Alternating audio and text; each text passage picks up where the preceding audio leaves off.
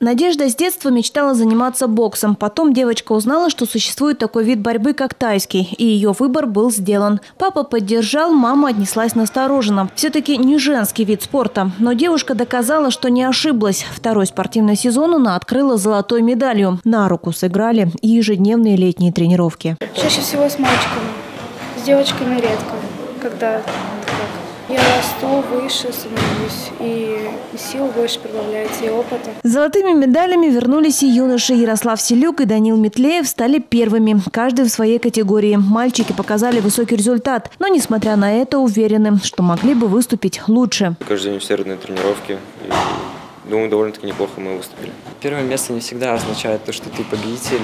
В первую очередь победитель тот, кто показывает максимально весь свой опыт и всю свою технику.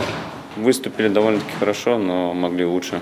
Могли взять четыре первых места. У парня попался опытный соперник, и не хватило просто опыта на данный момент ему. Открытый кубок по тайскому боксу – это первый старт в новом спортивном сезоне. Искитимские ребята начали его успешно. Помимо тройки золотых медалистов, в копилке команды одно серебро и две бронзы. При условии, что среди конкурентов сотни сильнейших спортсменов со всей страны. В следующий раз они встретятся на Кубке России. Четверо искитимцев отправятся туда в составе сборной Новосибирской области.